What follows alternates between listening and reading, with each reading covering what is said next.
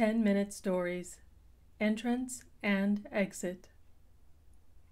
These three, the old physicist, the girl, and the young Anglican parson who was engaged to her, stood by the window of the country house. The blinds were not yet drawn. They could see the dark clump of pines in the field, with crests silhouetted against the pale, wintry sky of the February afternoon. Snow, freshly fallen, lay upon lawn and hill. A big moon was already lighting up. Yes, it's the wood, the old man said, and it was this very day fifty years ago, February 13th. The man disappeared from its shadows, swept in this extraordinary, incredible fashion into invisibility, into some other place. Can you wonder the grove is haunted? A strange impressiveness of manner belied the laugh following the words. Oh, please tell us, the girl whispered. We're all alone now. Curiosity triumphed. Yet a vague alarm betrayed itself in the questioning glance she cast for protection at her younger companion, whose fine face, on the other hand, wore an expression that was grave and singularly rapt. He was listening keenly. As though nature, the physicist went on, half to himself, here and there concealed vacuums, gaps, holes in space. His mind was always speculative, more than speculative, some said, through which a man might drop into invisibility, a new direction, in fact, at right angles to the three known ones, higher space, as Bolyai, Gauss, and Hinton might call it, and what you, with your mystical turn, looking toward the young priest, might consider a spiritual change of condition into a region where space and time do not exist, and where all dimensions are possible because they are one. But please, the story, the girl begged, not understanding these dark sayings, although I am not sure that Arthur ought to hear it. He's much too interested in such queer things as it is. Smiling, yet uneasy, she stood closer to his side, as though her body might protect his soul. Very briefly, then, you shall hear what I remember of this haunting, for I was barely ten years old at the time. It was evening, clear and cold, like this, with snow and moonlight, when someone reported to my father that a peculiar sound, variously described as crying, singing, wailing, was being heard in the grove. He paid no attention until my sister heard it too and was frightened. Then he sent a groom to investigate. Though the night was brilliant, the man took a lantern. We watched from this very window till we lost his figure against the trees, and the lantern stopped swinging suddenly, as if he had put it down. It remained motionless. We waited half an hour, and then my father, curiously excited, I remember, went out quickly, and I, utterly terrified, went after him. We followed his tracks, which came to an end beside the lantern the last step being a stride almost impossible for a man to have made. All around the snow was unbroken by a single mark, but the man himself had vanished. Then we heard him calling for help. Above, behind, beyond us, from all directions at once, yet from none, came the sound of his voice. But though we called back, he made no answer and gradually his cries grew fainter and fainter, as if going into tremendous distance, and at last died away altogether. And the man himself? asked both listeners. Never returned. From that day to this, has never been seen. At intervals for weeks and months afterwards, reports came in that he was still heard crying always crying for help. With time, even these reports ceased. for most of us, he added under his breath. And that is all I know, a mere outline, as you see. The girl did not quite like the story, for the old man's manner made it too convincing. She was half disappointed, half frightened. See, there are others coming home, she exclaimed, with a note of relief, pointing to a group of figures moving over the snow near the pine trees. Now we can think of tea. She crossed the room to busy herself with the friendly tray as the servant approached to fasten the shutters. The young priest, however, deeply interested, talked on with their host, though in a voice almost too low for her to hear. Only the final sentences reached her, making her uneasy, absurdly so, she thought, till afterwards. For matter, as we know, interpenetrates matter, she heard, and two objects may conceivably occupy the same space. The odd thing, really, is that one should hear, but not see, that air waves should bring the voice, yet ether waves fail to bring the picture. And then the older man.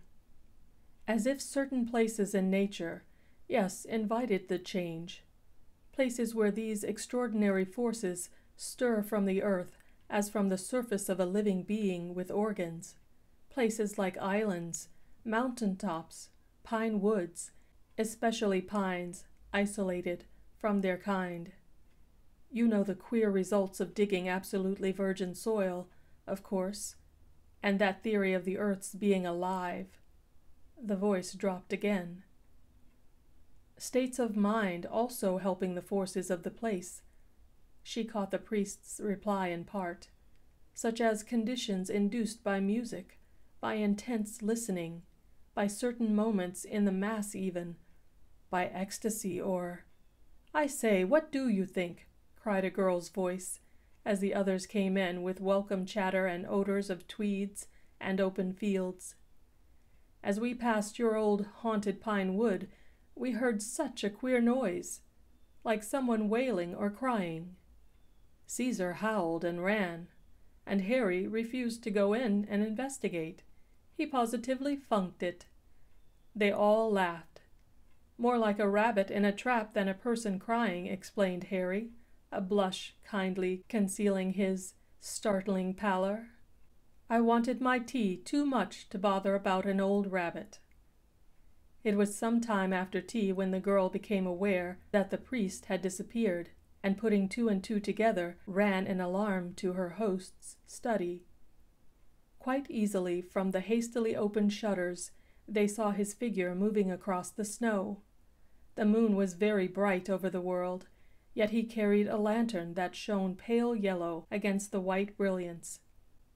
Oh, for God's sake, quick! she cried, pale with fear. Quick, or we're too late. Arthur's simply wild about such things. Oh, I might have known. I might have guessed. And this is the very night. I'm terrified.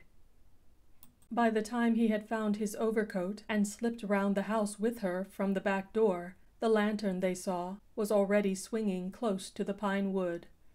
The night was still as ice, bitterly cold. Breathlessly they ran, following the tracks.